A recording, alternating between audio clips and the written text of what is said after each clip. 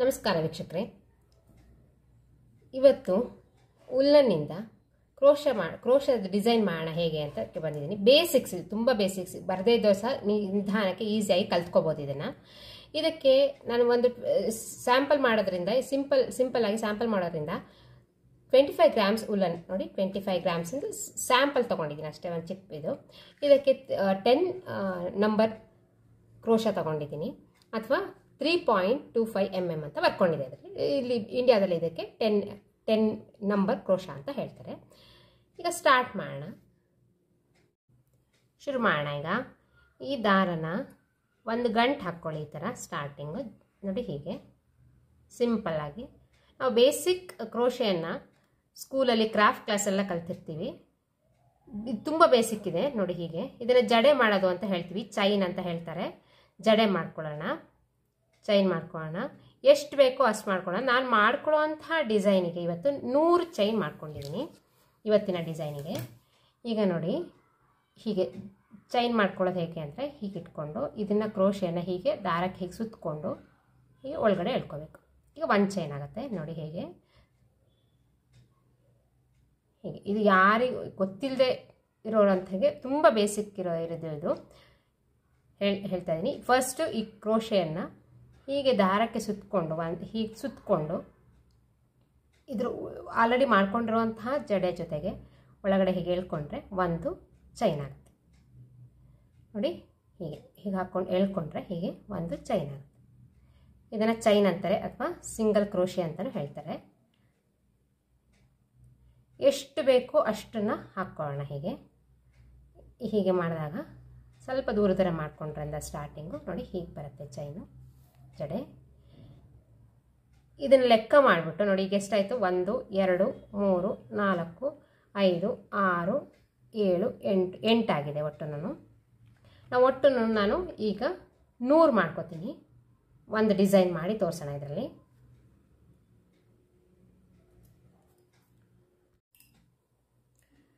ಈಗ ನೂರು ಚೈನ್ ಮಾಡಿಕೊಂಡಾಗ, ನನಗೆ ಇಪ್ಪತ್ತ್ಮೂರು ಇಂಚ್ ಇಪ್ಪತ್ತ್ಮೂರು ಇಂಚ್ ಕಾಣಿಸ್ತಾ, ಸಿಗ್ತಾ ಇದೆ ಇದರಲ್ಲಿ ನೂರು ಚೈನ್ ಆದ ತಕ್ಷಣ.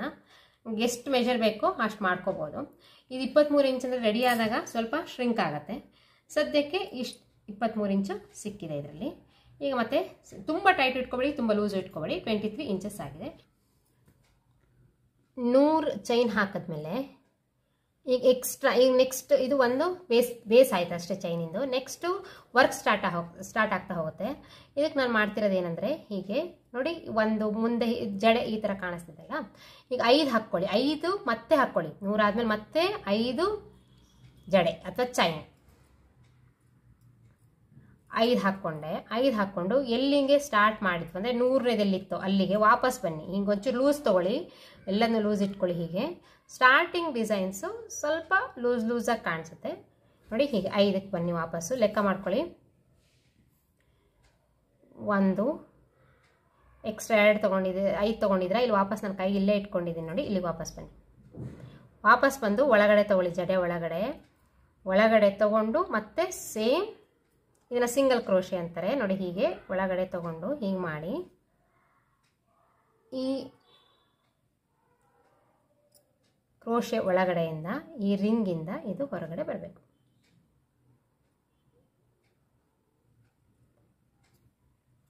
ನೋಡಿ ಹೀಗೆ ಹೊರಗಡೆ ಬರಬೇಕು. ಗೊತ್ತಾಗಿಲ್ಲ ಅಂದರೆ ಒಂದ್ಸಲ ತೆಕ್ಕೊಂಡು ಮತ್ತೆ ಕೈ ಹಾಕಿ ಬೇಕಾದ್ರೆ ನೀವು ಮಾಡ್ಕೊಳ್ಳಿ. ನೋಡಿ ಈ ಥರ ಒಂದು ಜಾಲಿ ಥರ ಬಂತು. ಮತ್ತೆ ಐದು ಹಾಕೋ, ದಾಕ್ ಹಾಕೋತೀನಿ ಇವಾಗ. ಫಸ್ಟಿಗೆ, ಫಸ್ಟ್ನೇದಕ್ಕೆ ಐದು ಹಾಕೋಬೇಕು. ಐದು ಹಾಕ್ಕೊಂಡು ವಾಪಸ್ ನೂರು ಎಲ್ಲಿತ್ತೋ ಅಲ್ಲಿಗೆ ಬರಬೇಕು. ಈಗ ಹಾಕೋಬೇಕಾಗಿರೋದು ನಾಲ್ಕು. ಎರಡು, ಮೂರು, ನಾಲ್ಕು. ಈಗ ಮತ್ತೆ ಕೌಂಟ್ ಮಾಡೋಣ? ಒಂದು, ಎರಡು, ಮೂರು, ನಾಲ್ಕು.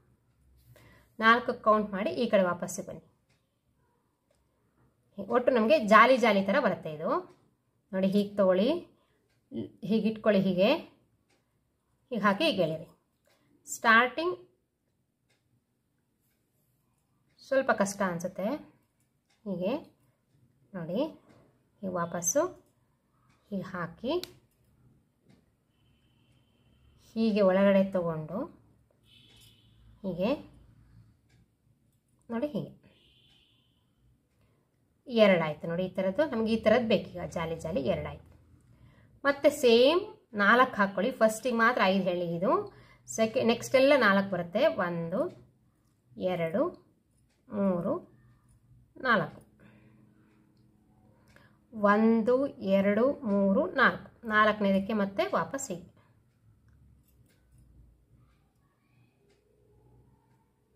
ನೋಡಿ?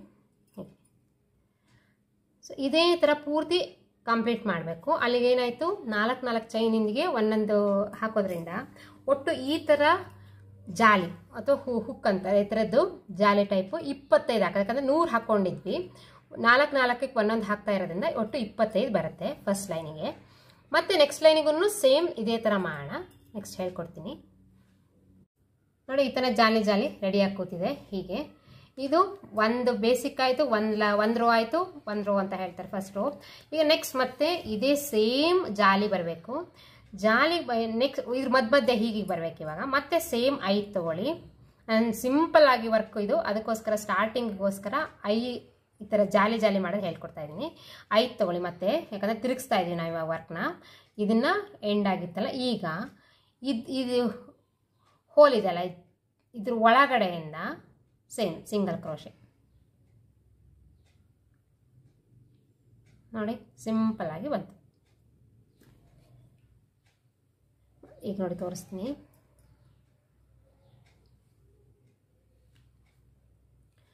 ಮತ್ತು ಇನ್ನೊಂದು ಮಾಡೋಣ ಇದು ಈ ಥರ ಬರುತ್ತೆ. ಫಸ್ಟ್ ರಿಂಗು ಈಗ ಐದು ಮುಗೀತು. ಈಗ ನಾಲ್ಕು ಮಾಡೋಣ ಒಂದು, ಎರಡು, ಮೂರು, ನಾಲ್ಕು. ಆ್ಯಕ್ಚುಲಿ ಇದು ಸುಲಭ. ಈ ನೆಕ್ಸ್ಟ್ ಲೈನು ನಾಲ್ಕು ಹಾಕಿ ಈ ಜಾಗ ಇದೆಯಲ್ಲ, ಇಷ್ಟು ಹೋಲ್ ಬಿಟ್ಕೊಂಡಿದೆಯಲ್ಲ ಇದು, ಜಾಲಿಯಾದ ಜಾಗದಲ್ಲಿ, ಈ ಜಾಗದ ಒಳಗಡೆ ಕ್ರೋಶ ಹಾಕಿ, ಇದ್ರ ಒಳಗಡೆ ತೊಗೊಳಿಕ್ಕೆ ದಾರನ ತಗೊಂಡು ಹೀಗೆ ಫಿಕ್ಸ್ ಮಾಡ್ಕೊಳ್ಳಿ. ಇದು ಸಿಂಗಲ್ ಕ್ರೋಶ. ಮತ್ತೆ ನೋಡಿ, ಮತ್ತೆ ಸೇಮ್ ಅಲ್ಲಿಂದ ಮತ್ತೆ ಒಂದು, ಎರಡು, ಮೂರು, ನಾಲ್ಕು ಥರ ಬಿಡ್ತಾ ಇರುತ್ತೆ. ನೋಡ್ಕೊಂಡು ಮಾಡೋಣ. ಮೂರು, ನಾಲ್ಕು. ನಾಲ್ಕು ಆದ ತಕ್ಷಣ ಈ ಜಾಗ ಇದೆಲ್ಲ, ಈ ಜಾಗದ ಒಳಗಡೆ ಹೀಗೆ ಹೋಗಲಿ. ಹೋಗಿ ಹೀಗೆ ಬರಲಿ. ಹೀಗೆ ಬಂದು ಇದು ಹೊರಗಡೆ ಬಂದರೆ ಆಯ್ತು ಅಷ್ಟೆ. ಈಗ ಏನಾಯ್ತಂದರೆ ಆಲ್ಟರ್ನೇಟಿವ್ ಆಯಿತು ನೋಡಿ. ಇಲ್ಲಿ ಇದೆರಡರ ಮಧ್ಯಕ್ಕೆ ಇನ್ನೊಂದು ಜಾಲಿ ಬಂದಿದೆ. ಎರಡರ ಮಧ್ಯಕ್ಕೆ ಇನ್ನೊಂದು ಜಾಲಿ ಬಂದಿದೆ. ಇದೇ ಥರ ಕಂಟಿನ್ಯೂ ಆಗ್ತಾ ಹೋಗುತ್ತೆ. ಸೆಕೆಂಡ್ ಲೈನಿಗೂ ನಾಲ್ಕೇನೆ third line four fourth line ಹೀಗೆ ಮಾಡ್ಕೊಳ್ಳೋಣ ನಾಲ್ಕು ನಾಲ್ಕು ನಾಲ್ಕು ಹಾಕಿ ನೆಕ್ಸ್ಟ್ ಏನು ಮಾಡೋದು ಅಂತ ನೋಡೋಣ. ಈಗ ನೋಡಿ, ಮೂರು ಲೈನ್ ಆಯ್ತು ಈಗ ನಾಲ್ಕು ನಾಲ್ಕು ಎಳೆ ಹಾಕ್ಕೊಂಡು ಜಾಲಿ ಜಾಲಿ ಮಾಡ್ಕೊಂಡಿರೋದು. ನಾಲ್ಕು ನಾಲ್ಕು ಚೈನ್ ಹಾಕ್ಕೊಂಡು ಜಾಲಿ ಜಾಲಿ ಮಾಡ್ಕೊಂಡಿರೋದು ಮೂರು ಆಯಿತು. ನಿಮ್ಗೆ ಎಷ್ಟು ಬೇಕಾದ್ರೂ ಅಷ್ಟುತ್ತ ಮಾಡ್ಕೋಬೋದು. ನಾನು ಇವಾಗ ಮೂರು ನಾಲ್ಕು ಹಾಕ್ಕೊಂಡಿದ್ದೀನಲ್ಲ ಈಗ ಐದರದ್ದು ಹಾಕ್ತೀನಿ. ಸೇಮ್ ಇದೇ ಡಿಸೈನ್ ಸೇಮ್ ಆದರೆ ಚೈನ್ ಮಾತ್ರ ಐದು.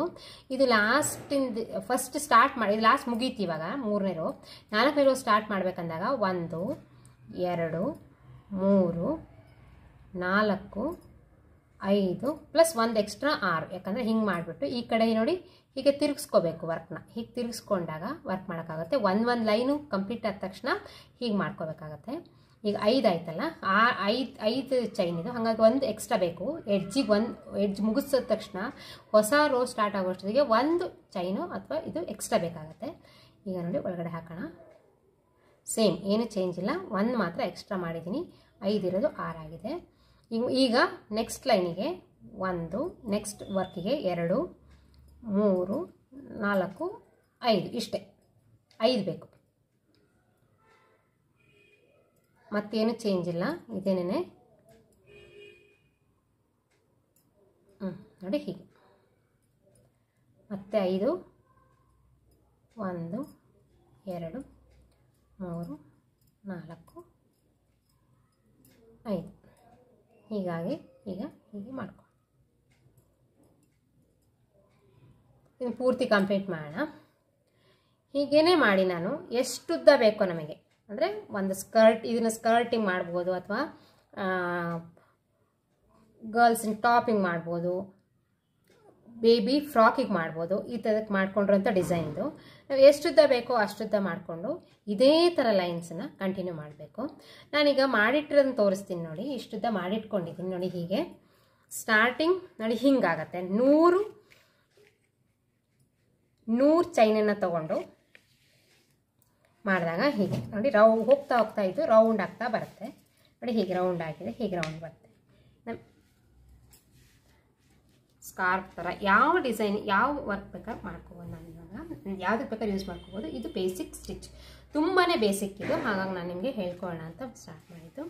ನಾನೇನು ಮಾಡಿದ್ದೀನಿ ಅಂದರೆ ಸ್ಟಾರ್ಟಿಂಗ್ ನಾಲ್ಕು, ನೋಡಿ ಹೀಗೆ ಸ್ಟಾರ್ಟಿಂಗು ಒಂದು, ಎರಡು ಜಾಲಿ ಲೆಕ್ಕ ಮಾಡಿದ್ರೆ ಒಂದು, ಎರಡು ಒಂದು ಒಂದು, ಎರಡು, ನಾಲ್ಕು ಲೈನ್, ನಾಲ್ಕು ಲೈನನ್ನು ನಾಲ್ಕು ಚೈನಿಂದ ತೊಗೊಂಡಿದ್ದೀನಿ. ನೆಕ್ಸ್ಟ್ ನಾಲ್ಕು ಲೈನನ್ನು ಐದು ಚೈನಿಗೆ ತೊಗೊಂಡಿದ್ದೀನಿ. ಇಷ್ಟು ಮಾಡ್ಕೊಂಡಿದ್ದೀನಿ ನಾನು. ಇಷ್ಟುದ್ದ ಸಾಕು. ನೆಕ್ಸ್ಟ್ ಈಗ ಬರೋದು ಫ್ಲವರ್ ಬರುತ್ತೆ ಲಾಸ್ಟಿಗೆ ಅದನ್ನು ಹೇಗೆ ಅಂತ ನೋಡೋಣ. ಈ ಫ್ಲವರ್ ಮಾಡಲಿಕ್ಕೆ ಬರೀ ಸಿಂಗಲ್ ಕ್ರೋಶೆ ಸಾಕಾಗಲ್ಲ ಡಬಲ್ ಕ್ರೋಶೆ ಮಾಡೋದು ಹೇಗೆ ಅಂತ ನೋಡ್ಕೋಬೇಕಾಗತ್ತೆ ಈಗ ಡಬಲ್ ಕ್ರೋಶೆ ಒಂದು ಈ ಚೈನಲ್ಲಿ ಮಾಡಿ ತೋರಿಸ್ತೀನಿ. ಆಮೇಲೆ ಇಲ್ಲಿಗೆ ಯಾವ ಥರ ವರ್ಕ್ ಬರುತ್ತೆ ಅಂತ ನೋಡೋಣ ಅಂತ. ನೂರು ಚೈನ್ ಉಪಯೋಗಿಸಿ ಇಷ್ಟು ಇಷ್ಟು ದೊಡ್ಡದು ಮಾಡಿರುವಂತಹ, ಇಷ್ಟು ದೊಡ್ಡದು ಮಾಡಿರುವಂತಹ ಡಿಸೈನಿಗೆ ಇಷ್ಟಕ್ಕೆ ನನಗೆ ಬೇಕಾಗಿರುವಂಥದ್ದು ಇಪ್ಪತ್ತೈದು ಗ್ರಾಮ್ ಉಲ್ಲನ್ ಖರ್ಚಾಗಿದೆ ಇದಿಷ್ಟಕ್ಕೆ. ನೆಕ್ಸ್ಟು ಫ್ಲವರಿಗೆ ನೆಕ್ಸ್ಟ್ ಬೇಕಾಗುತ್ತೆ ಅಂತ ನೋಡಿಬಿಟ್ಟು ಲಾಸ್ಟಿಗೆ ಎಷ್ಟು ಆಗುತ್ತೆ ಅಂತ ಹೇಳ್ತೀನಿ ನಾನು. ಈಗ ಡಬಲ್ ಕ್ರೋಶೆ ಮಾಡೋದು ಹೆಂಗೆ ಅಂತ ಹೇಳಬೇಕಲ್ಲ, ಇದೇ ಚೈನಲ್ಲಿ ತೋರಿಸ್ತೀನಿ. ಯಾಕಂದರೆ ಈ ವರ್ಕಿಗೆ ಬೇಕಾಗುತ್ತದೆ ಈಗ ಡಬಲ್ ಕ್ರೋಶೆ ಮಾಡೋದು. ನೋಡಿ ಹೀಗೆ ಹೀಗೆ ತಗೊಂಡು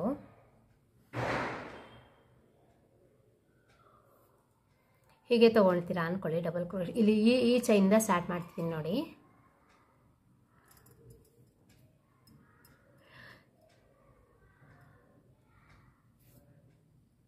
ಇಲ್ಲಿ ಐದು ಆಗಿತ್ತಲ್ಲ, ಐದು ಆರಾಗಿತ್ತಲ್ಲ ಹೀಗೆ ಇರಲಿ ಇದು.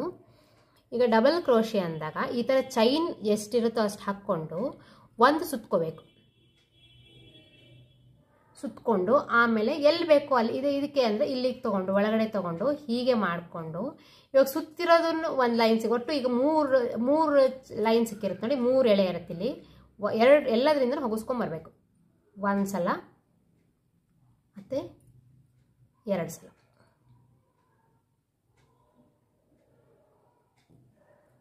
ನೋಡಿ ಹೀಗೆ, ನೋಡಿ, ಒಂದು ಚೈನ್ ತೊಗೊಳ್ಳಿ ಹೀಗೆ. ಡಬಲ್ ಕ್ರೋಶೆ ಅಂತಂದರೆ ಎಕ್ಸ್ಟ್ರಾ ನೋಡಿ ಒಂದು ಚೈನ್ ತೊಗೊಂಡಿದ್ದೀನಿ ಇದು ಸಿಂಗಲ್ ಕ್ರೋಶೆ ಆಯಿತು. ಡಬಲ್ ಕ್ರೋಶೆ ಮಾಡಬೇಕಂದಾಗ, ಈಗ ನೋಡಿ ಒಂದು ಹೀಗೆ ಸುತ್ತಕೊಂಡು ಆಮೇಲೆ ಒಳಗಡೆ ಹೊಗಿಸ್ಕೊಳ್ಳಿ. ಹೀಗೆ ಹೀಗೆ ಹೊಗಿಸ್ಕೊಂಡು, ಹೀಗೆ. ಈಗ ಸಿಂಗಲ್ ಕ್ರೋಶಲ್ಲಿ ಎರಡೆರಡು ಲೈನ್ ಬರ್ತಿತ್ತು. ಎರಡೇ ಅಥವಾ ರಿಂಗ್ ಇರ್ತಿತ್ತು. ಇಲ್ಲಿ ನೋಡಿ ಮೂರು ಮೂರು ದಾರ ಕಾಣ್ತಾ ಇದೆ ನಮಗೆ. ನೋಡಿ, ಇಲ್ಲಿ ಹೀಗೆ ಮೂರು ದಾರ ಕಾಣ್ತಾ ಇದೆ. ಈಗ ದಾರದ ಹೊಗಿಸ್ಕೊಂಡು ಮೂರಿಂದ ಹೊರಗಡೆ ತೆಗಿ ತೆಗಿಬೇಕು. ನೋಡಿ ಹೀಗೆ. ಹೀಗೆ, ನಾನು ನೋಡಿ ಹೀಗೆ ತೆಗಿ ಇದನ್ನು ಡಬಲ್ ಕ್ರೋಶೆ ಅಂತ ನೋಡಿ ಈ ಥರ ಬಂದಿರುತ್ತೆ ಇಲ್ಲಿ ಒಳಗೆ. ಮತ್ತೆ ಇನ್ನೊಂದ್ಸಲ ತೋರಿಸ್ತೀನಿ ನೋಡಿ, ಒಂದು ಚೈನ್ ತೊಗೊಂಡಿದ್ದೀನಿ, ಯಾಕಂದರೆ ಅದು ಡೈರೆಕ್ಟಾಗಿ ಮಾಡೋಕ್ಕಾಗಲ್ಲ ಅದನ್ನ ಸೊ ಒಂದು ಸಲ ಹೀಗೆ ಸುತ್ತಕೊಳ್ಳಿ ಒಳಗಡೆ ಹೊಗ್ಗಿಸ್ಕೊಳ್ಳಿ, ಹೀಗೆ ತಗೊಳ್ಳಿ ಹೀಗೆ ತಗೊಳ್ಳಿ. ಈಗ ನೋಡಿ, ಮೂರು ಬಂದಿದೆಯಾ ನೋಡಿ ಮೂರಿದೆ ನೋಡಿ, ಇಲ್ಲಿ ಮೂರಿದೆ ಹೀಗೆ ತಗೊಳ್ಳಿ. ಓಕೆ? ಸ್ಲೋಲಿ ಎಳ್ಕೊಂಬನ್ನಿ ಇದರಿಂದ ಮತ್ತೆ ಇದರಿಂದ ಎಳ್ಕೊಂಬನ್ನಿ ನೋಡಿ ಡಬಲ್ ಕ್ರೋಶೆ ಈ ಡಬಲ್ ಕ್ರೋಶೆಯನ್ನು ಯೂಸ್ ಮಾಡಿ ಇವಾಗ ಇದಕ್ಕೆ ಲಾಸ್ಟಿಗೆ ಫೈನಲ್ ಆಗಿ ಒಂದು ಫ್ಲವರ್ ಮಾಡಬೇಕು. ಅದು ಹೇಗೆ ಮಾಡಂತ ನೋಡೋಣ. ನೋಡಿ ಇವಾಗ ಸ್ಟಾರ್ಟ್ ಆಗಿದ್ದು ಟ್ವೆಂಟಿ ತ್ರೀ ಇಂಚಸ್ಸಿಗೆ ಹಂಡ್ರೆಡ್ ಮಾಡಿದಾಗ ಹಂಡ್ರೆಡ್ ಚೇಂಜ್ ಮಾಡಿಕೊಂಡಾಗ. ಈಗ ಆಲ್ಮೋಸ್ಟ್ ಏಯ್ಟೀನ್ ಆ ಥರ ಅಂದರೆ ಕಡಿಮೆ ಆಗುತ್ತಿದು ಮಾಡ್ತಾ ಮಾಡ್ತಾ ಈಗ ಸ್ಟಾರ್ಟ್ ಆಗಿರೋ ಅಂಥದ್ದು ಕರೆಕ್ಟಾಗಿ ಮೇಜರ್ ಮಾಡಿದ್ರೆ ನೋಡಿ, ಹೀಗೆ. ಏಯ್ಟೀನ್ ತನಕ ಬಂದಿದೆ ನನ್ನ ನನ್ನ ಮೆಜರ್ಮೆಂಟಲ್ಲಿ ಇದು ಇದು ನೋಡಿ ಸೆಂಟ್ರಿಗೆ ಮೂರು ಇಂಚ್ ಆಗಿದೆ. ತುಂಬ ಎಳೆದ ಈ ನಾಲ್ಕೆಲ್ಲ ಬ, ನಾಲ್ಕೆಲ್ಲ ಬರುತ್ತೆ ಬಟ್ ನಾನು ಹಿಂಗೆ ಏನು ಹೇಳ್ತಿಲ್ಲ ನೋಡಿ, ಹಿಂಗೆ ಮೂರು ಇಂಚ್ ಮಾಡ್ಕೊಂಡಿದ್ದೀನಿ ಇದನ್ನು ತೋರ್, ಇದು ಕರೆಕ್ಟ್ ಇದಿಷ್ಟು ಮಾಡಲಿಕ್ಕೆ ಇಪ್ಪತ್ತೈದು ಗ್ರಾಮ್ ಉಲನ್ ತೊಗೊಂಡಿದ್ದೆ ತೊಗೊಂಡಿದೆ ಇದು. ಸೊ ಈಗ ನೆಕ್ಸ್ಟು ಇದು ಫುಲ್ ಡಿಸೈನ್ ಕಂಪ್ಲೀಟ್ ಮಾಡಂದರೆ ಇಲ್ಲಿಗೆ ಹೂ ಹೂ ಥರ ಬರುತ್ತೆ. ಹೂ ಬರೋಕ್ಕೆ ಇನ್ನೊಂದೆರಡು ಇಂಚ್ ಬರುತ್ತೆ. ಅಂದರೆ ಒಟ್ಟು ಐದು ಇಂಚು ಇನ್ನೊಂದೆರಡು ಒಟ್ಟು ಐದು ಇಂಚ್ ಡಿಸೈನ್ ಆಗುತ್ತೆ ಇದು. ಸೊ ಸ್ಕರ್ಟ್ ಟೈಪ್ ಆಗುತ್ತೆ ಅಥವಾ ಡಿಸೈನ್ ಆಗುತ್ತೆ. ಶಾಲ್ ಟೈಪು ಇದನ್ನು ತೋರಿಸ್ಲಿಕ್ಕೆ ನಾನು ತೋರಿಸ್ತಾ ಇರೋದು. ಈಗ ನೆಕ್ಸ್ಟು ಹೂ ಇನ್ ಡಿಸೈನ್ನ ಸ್ಟಾರ್ಟ್ ಮಾಡೋಣ. ಈಗ ನೋಡಿ ಇಲ್ಲಿ ಎಂಡ್ ಆಗಿದೆ ಅಲ್ಲ, ಉಲ್ಲನಿಂದು. ಈಗ ಜಾಯಿನ್ ಮಾಡಬೇಕಂದ್ರೆ ಇನ್ನೊಂದು ತೊಗೊಂಡಿದ್ದೀನಿ ನೋಡಿ. ಇನ್ನೊಂದು ತೊಗೊಂಡು ಇದಕ್ಕೆ ಸೇರಿಸ್ಕೊಳ್ಳಿ ಕಟ್ ಗಂಟು ಹಾಕ್ಕೊಳ್ಳಿ. ಗಂಟು ಹಾಕ್ಕೊಂಡು ಎಕ್ಸ್ಟ್ರಾನ ಕಟ್ ಮಾಡ್ಕೋಬೇಕು. ಮಾಡಿಕೊಂಡು ಈ ಗಂಟು ಕಾಣಿಸ್ತಾ ಇರೋ ಥರ ಸ್ಟಾರ್ಟ್ ಮಾಡ್ಕೋಬೇಕು. ಗಟ್ಟಿಯಾಗಿ ಗಂಟು ಹಾಕ್ಕೊಳ್ಳಿ ಬಿಚ್ಚದೇ ಇದ್ದಂಗೆ.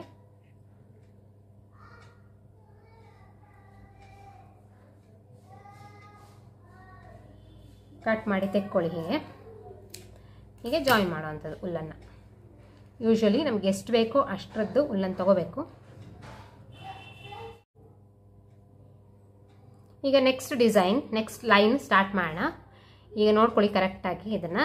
ಈಗ ಇದು ಚೈನ್ ಮಿಸ್ ಆಗದೆ ಇದ್ದಾಗ ನೋಡ್ಕೋಬೇಕು. ಯಾಕಂದರೆ ಚೈನು ಇದರೊಳಗಡೆ ಹೋಗಿ ಕಳೆದು ಲೂಸ್ ಬಿಚ್ಕೊಂಡ್ಬಿಟ್ರೆ ಎಲ್ಲದೂ ಈಸಿಯಾಗಿ ಬಿಚ್ಕೊಂಡ್ಬಿಡುತ್ತೆ ಹಾಗಾಗಿ ಯಾವ ಯೂಸ್ ಮಾಡೋಕ್ಕಿಂತ ಮುಂಚೆ ಈ ಥರ ಇಷ್ಟು ಲೂಸಾಗಿ ಇಟ್ಕೊಳ್ಳಿ. ಈಗ ನೋಡಿ, ಈಗ ಸೆಕೆಂಡ್ ಸ್ಟಾರ್ಟ್ ಮಾಡೋ ಅಷ್ಟೊತ್ತಿಗೆ ಒಂದು, ಎರಡು, ಗಂಟು ನೋಡಿ ಬಂದಿದೆ ಮಧ್ಯದಕ್ಕೆ ಮೂರು. ಇದು ಡಿಸೈನ್ ಒಳಗಡೆ ಹೋಗ್ಬಿಡುತ್ತೆ, ಗೊತ್ತಾಗಲ್ಲ? ಮೂರು. ಮೂರು ಹಾಕ್ಕೊಂಡಿದ್ದೀನಿ ಸ್ಟಾರ್ಟಿಂಗಿಗೆ ಯೂಶ್ವಲಿ ಎರಡು ಹಾಕೋಬೇಕು ಸ್ಟಾರ್ಟಿಂಗ್ ಇದನ್ನು ರಿವರ್ಸ್ ಮಾಡೋದಕ್ಕಿಂತ ಡಿಸೈನ್ ಸ್ಟಾರ್ಟ್ ಮಾಡೋದಕ್ಕೆ ಮೂರು ಹಾಕ್ಕೊಂಡಿದ್ದೀನಿ. ಮೂರು ಹಾಕ್ಕೊಂಡು ಸೆಕೆಂಡ್ ಡಬಲ್ ಕ್ರೋಶೆ ತೊಗೋಬೇಕು ಇವಾಗ. ನೋಡಿ, ವ ಹೀಗೆ ಸುತ್ತಕೊಳ್ಳಿ ಹೀಗೆ ಸುತ್ತಕೊಂಡು ಇದ್ರ ಒಳಗಡೆ. ಈಗ ಜಾಲಿ ಇದೆಯಲ್ಲ, ಜಾಲಿ ಜಾಗ ಇದೆಲ್ಲ ಇದ್ರ ಒಳಗಡೆ ಹೀಗೆ ತೊಗೊಂಡು ಒಂದು ಡಬಲ್ ಕ್ರೋಶೆ ಹಾಕ್ಕೊಳ್ಳಿ. ಡಬಲ್ ಕ್ರೋಶೆ ಹಾಕೋದು ಹೇಗೆ ಅಂತ ಹೇಳಿದ್ದೀನಿ ಸ್ವಲ್ಪ ಸ್ಲೋಲಿ ನೋಡ್ಕೊಂಡು ಹಾಕ್ಕೊಳ್ಳಿ. ಸ್ಟಾರ್ಟಿಂಗ್ ಸ್ವಲ್ಪ ಕಷ್ಟ ಆಗುತ್ತೆ ಹಾಕೋದು.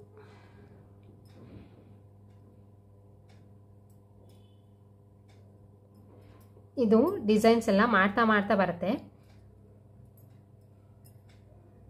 ನೋಡಲಿಕ್ಕೆ ಅಯ್ಯೋ ಹೇಗಪ್ಪ ಅಂತ ಅನ್ಸುತ್ತೆ ಬಟ್ ಮಾಡ್ತಾ ಮಾಡ್ತಾ ಬರುತ್ತೆ. ಈಗ ನೋಡಿ ಇದ್ರ ಒಟ್ಟು ಎಂಟು ಚೈನ್ ಹಾಕೋತೀನಿ ನಾನು. ಎರಡು ಡಬಲ್ ಕ್ರೋಶೆ ಹಾಕೋತೀನಿ ಇದ್ರೊಳಗಡೆ.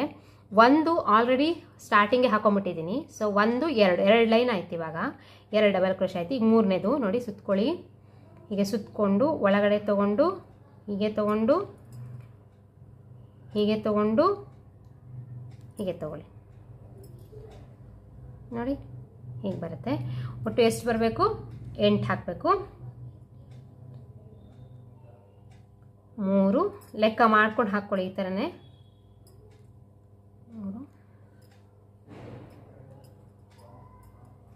ನಾಲ್ಕು ಈ ಥರ ನಾಲ್ಕು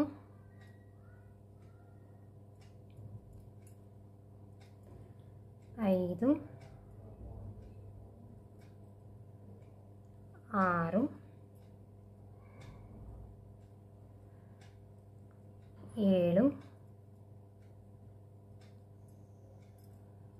ಎಂಟು. ಇನ್ನೂ ಚಂದ ಬರ್ಬೇಕಂತ ನೋಡಿ, ಇದು ಹೂ ಥರ ಲಾಸ್ಟ್ ಈ ಥರ ಬಂತು. ನೋಡಿ, ಹೇಗೆ ಬಂದಿದೆ? ಹೀಗೆ ಬಂದಿದೆ ಅಲ್ವಾ? ಹೀಗೆ ಬಂದಿದೆ. ಇನ್ನೂ ದಪ್ಪ ಬೇಕಂದರೆ ಹತ್ತು ಸಹ ಹಾಕ್ಬೋದು. ಈ ಸ್ಟಾರ್ಟಿಂಗ್ ಎಂಟು ಸಾಕಬೇಕಂದ್ರೆ ಸ್ಟಾರ್ಟಿಂಗ್ ನಾವು ಕಲಿತಾ ಇರೋದಲ್ವ? ಎಂಟು ಸಾಕಾಗತ್ತೆ ಈಗ. ಈಗ ಇಷ್ಟ ಆಯ್ತಲ್ಲ? ಎಂಟಾಗಿದೆ. ಒಟ್ಟು ಲೆಕ್ಕ ಮಾಡ್ಕೊಳ್ಳಿ ನೋಡಿ. ಇದೊಂದು ಸೇರ್ ಸೇರಿಸ್ಕೋಬೇಕು. ಒಂದು, ಎರಡು, ಮೂರು, ನಾಲ್ಕು, ಐದು, ಆರು, ಏಳು, ಎಂಟು.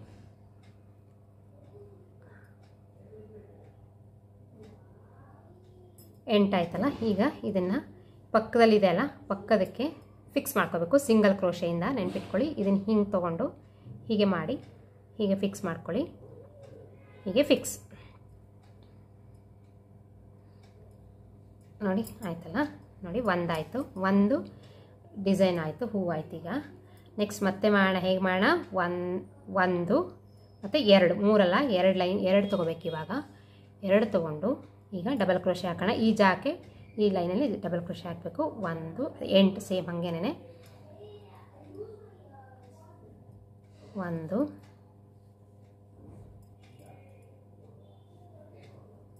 ಎರಡು ಮೂರು ನಾಲ್ಕು ಐದು ಆರು ಏಳು ಎಂಟು ನೋಡಿ, ಎಂಟಾಯ್ತು. ಈಗ ಹೀಗೆ. ಹೀಗೇನೆ ಪೂರ್ತಿ ರೌಂಡ್ ಮಾಡ್ಕೋಬೇಕಾಗತ್ತೆ. ನೋಡಿ, ಇದು, ಇದರದ್ದು ಎಂಡ್ ಇದು. ಫ್ರಾಕಿನ, ಫ್ರಾಕ್ ಅಥವಾ ಡಿಸೈನ್ನ ಲಾಸ್ಟ್ ಹೀಗೆ ಬರುತ್ತೆ. ಪೂರ್ತಿ ಮಾಡ್ಕೊಳ್ಳೋಣ ಇದಿಷ್ಟೇ ಎಂಟಾದಮೇಲೆ ಇದನ್ನ ಇದಕ್ಕೆ ಫಿಕ್ಸ್ ಮಾಡ್ಕೋಬೇಕು ಪಕ್ಕದ ಇದಕ್ಕೆ ಸಿಂಗಲ್ ಕ್ರೋಶೆಯಿಂದ ಫಿಕ್ಸ್ ಮತ್ತು ಸೇಮ್ ಅದೇ ಥರ ತೊಗೊಳ್ಳಿ, ಎರಡು ಚೈನ್ ತೊಗೊಳ್ಳಿ, ಹೀಗೆ ಮಾಡ್ಕೊಂಡು ಹೋಗೋಣ. ಫುಲ್ ಫುಲ್ ತನಕ ಮಾಡೋಣ ಆಮೇಲೆ ಏನಾಗುತ್ತೆ ನೋಡೋಣ. ಈಗ ನೋಡಿ ಲಾಸ್ಟಿಗೆ ಈ ಥರ ಫ್ರಿಲ್ಸ್ ಥರ ಕೊಟ್ಕೊಂಡಿದ್ದೀನಿ ಲಾಸ್ಟಿಂದು ಇದು. ಸಿಂಪಲ್ ಆಗಿ ಬೇಸಿಕ್ ಡಿಸೈನ್ ಹೇಗೆ ಮಾಡೋದು ಅಂತ ಹೇಳ್ಕೊಟ್ಟಿರೋದು. ಇದನ್ನು, ಮಕ್ಕಳ ಸ್ಕರ್ಟ್ ಆಗಿ ಯೂಸ್ ಮಾಡ್ಬೋದು. ಇನ್ನು ಹುಲ್ಲನ್ನು ಟ್ವೆಂಟಿ ಫೈವ್ ಗ್ರಾಮ್ಸ್ ಅಷ್ಟು ಟ್ವೆಂಟಿ ಫೈವ್ ಗ್ರಾಮ್ಸಲ್ಲಿ ಇನ್ನೂ ಇಷ್ಟು ಉಳ್ ಹುಲ್ಲನ್ನು ಉಳ್ಕೊಂಡಿದೆ. ಮತ್ತೆ ಒಂದು ಲೈನ್ ಸಹ ಇಲ್ಲಿಗೆ ಇನ್ನೊಂದು ಈ ಥರ ಫ್ರಿಲ್ಸ್ ಟೈಪ್ ಇನ್ನೊಂದು ಇನ್ನೂ ಸಹ ಕೊಡ್ಬೋದು. ನಾನಿವತ್ತು ಬೇಸಿಕ್ ತೋರಿಸ್ಬೇಕಂತ ಅಂದಿದ್ದಕ್ಕೆ ಹೀಗೆ ಮಾಡಿ ತೋರಿಸಿದ್ದೀನಿ ಇದನ್ನು ಮಕ್ಕಳ ಸ್ಕರ್ಟಾಗಿ ಯೂಸ್ ಮಾಡಬೇಕಂದ್ರೆ, ನೋಡಿ ಹೀಗೆ. ಹೀಗೆ, ಮಕ್ಕಳಿಗೆ ಕೆಳಗಿನ ಪೋರ್ಷನ್ ಫ್ರಾಕಿನ ಕೆಳಗಿನ ಪೋರ್ಷನ್ ಮೇಲ್ಗಡೆ ಪೋರ್ಷನನ್ನು ನೆಕ್ಸ್ಟ್ ವೀಡಿಯೋದಲ್ಲಿ ಹೆಂಗೆ ಮಾಡೋದು ಅಂತ ಹೇಳ್ಕೊಡ್ತೀನಿ. ಒಂದು ಟೈಪ್ ಮಾಡಿಕೊಂಡ್ರೆ ಒಂದೇ ಒಂದು ಯೋಕ್ ಅಂದರೆ ಈ ಪೋರ್ಷನ್ ಇರುತ್ತಲ್ಲ, ಯೋಕ್ ಅದು. ಅದನ್ನು ಎಲ್ಲ ಥರ ಡಿಸೈನ್ಸಿಗೂ ಸಹ, ಎಲ್ಲ ಥರ ಫ್ರಾಕ್ಸಿಗೆ ಸಹ ಮಾಡ್ಬೋದು. ಇದನ್ನು ಹೀಗೆ ಮಾಡಿ. ಇನ್ನು ಡೆಕೋರೇಷನ್ ಬೇಕಂದರೆ ಈ ಟೈಪ್ ಬೀಡ್ಸ್ ಅಥವಾ ಪರ್ಲ್ಸ್ನ ಜೋಡಿಸ್ಬೋದು. ಈಗ ನೋಡಿ, ಈ ಥರ ಗೋಲ್ಡ್ ಬೀಡ್ಸ್ನ ಹಾಕೋಬೋದು ಈ ಥರ ಇಲ್ಲಿಗೆ. ಇದು ಫ್ರಾಕ್ ಟೈಪ್ ಯೂಸ್ ಮಾಡಿದ್ರೆ ಅಥವಾ ಶಾಲ್ ಟೈಪ್ ಯೂಸ್ ಮಾಡಿದ್ರೆ ಹಾಗೆ ಬಿಡ್ಬೋದು. ನೋಡಿ, ಈ ಥರ ಇಲ್ಲಿ, ಇಲ್ಲಿಗೆ ಹೊಲ್ಕೋಬೇಕಾಗತ್ತೆ. ನಾನು ನಿಮಗೆ ಸಿಂಪಲ್ ತೋರಿಸ್ಲಿಕ್ಕೆ ತೋರಿಸ್ತಾ ಇದ್ದೀನಿ ಅಷ್ಟೇ ನೋಡಿ, ಹೇಗೆ ಥರ ಹೀಗೆ ಮಾಡಿದ್ರೆ ಗ್ರ್ಯಾಂಡ್ ಆಗಿ ತುಂಬ ಚೆನ್ನಾಗಿ ಕಾಣಿಸುತ್ತೆ. ಸೊ ಇದನ್ನ ಲೆಂತನ್ನ ನಮಗೆ ಬೇಕಾದಂಗೆ ಮಾಡ್ಕೋಬೇಕಷ್ಟೇ ಸೊ ನಾನು ಬೇಸಿಕ್ ಡಿಸೈನ್ ಆಗಿರೋದ್ರಿಂದ ತೋರಿಸಿರೋದಷ್ಟೇ. ನೋಡಿ, ನಾಲ್ಕೇ ನಾಲ್ಕು ಇಂಚಿದೆ ಇದು ಹೀಗೆ ಮಾಡಿದ್ರೆ. ಇನ್ನು ಐ, ಎಷ್ಟು ಇಂಚ್ ಬೇಕೋ ಅಷ್ಟಕ್ಕೆ ಇದನ್ನು ಕಂಟಿನ್ಯೂ ಮಾಡ್ಬೋದು. ಎಷ್ಟುದ್ದ ಬೇಕೋ ಅಷ್ಟುದ್ದನ ಈ ಈ ಈ ಥರ ಜಾಲಿ ಜಾಲಿ ಇದೆಯಲ್ಲ, ಇದನ್ನೇ ಡಿಸೈನ್ ಮಾಡಿ ಲಾಸ್ಟಿಗೆ ಇದನ್ನು ಹಾಕ್ಬೋದು. ಅಥವಾ ಇಷ್ಟು ಜಾಲಿ ಮಾಡಿ ಮತ್ತೆ ಇನ್ನೊಂದು ಲೈನು ಇದನ್ನು ಹಾಕ್ಬೋದು. ಇದನ್ನು ಸಿಂಪಲ್ಲಾಗಿ ಹೇಗೆ ಕ್ರೋಶೆ ಮಾಡೋದು ಅಂತ ಹೇ ತೋರಿಸ್ಲಿಕ್ಕೆ ಈ ಡಿಸೈನ್ ಯೂಸ್ ಮಾಡ್ಕೊಂಡು ನಾನು ಮಾಡೋ ಹೇಳ್ಕೊಟ್ಟಿದ್ದೀನಿ ಇವತ್ತು. ನಾನು ಮಾಡಿರುವಂಥ ವೀಡಿಯೋ ನಿಮ್ಗೆ ಇಷ್ಟ ಆಗಿದೆ ಅಂತ ಅನ್ಕೋತೀನಿ. ಇಷ್ಟ ಆದರೆ ಲೈಕ್ ಮಾಡಿ, ಶೇರ್ ಮಾಡಿ, ಸಬ್ಸ್ಕ್ರೈಬ್ ಮಾಡಿ. ನೆಕ್ಸ್ಟ್ ವೀಡಿಯೋದಲ್ಲಿ ಈ ಥರ ಯೋಕ್ ಮಾಡೋದು ಹೇಗೆ ಅಂತ ಹೇಳ್ಕೊಡ್ತೀನಿ. ನೋಡಿ. ಈ ಟೈಪ್ ಯೋಕ್ ಮಾಡೋದು ಹೇಗೆ ಅಂತ. ಹೇಗೆ ಈ ಟೈಪ್ ಯೋಕ್ ಮಾಡೋದು ಹೇಗೆ ಅಂತ ಹೇಳ್ಕೊಡ್ತೀನಿ ಇದು. ನೆಕ್ಸ್ಟ್ ಇನ್ಯಾವುದೋ ವೀಡಿಯೋ ನೆಕ್ಸ್ಟ್ ನೆಕ್ಸ್ಟ್ ವೀಡಿಯೋದಲ್ಲಿ ಈ ಟೈಪಿನ ಡಿಸೈನು ಹೇಳ್ಕೊಡ್ತೀನಿ. ಈ ಟೈಪ್ ಯೋಕು ಕಾಮನ್ ಆಗಿ ಎಲ್ಲ ಥರ ಫ್ರಾಕ್ಸಿಗೂ ಸಹ ಯೂಸ್ ಮಾಡ್ಬೋದು. ಈ ಯೋಗ ಮಾಡೋದು ಹೇಗೆ ಅಂತ ಹೇಳ್ಕೊಡ್ತೀನಿ. ನಮಸ್ಕಾರ ವೀಕ್ಷಕರೇ.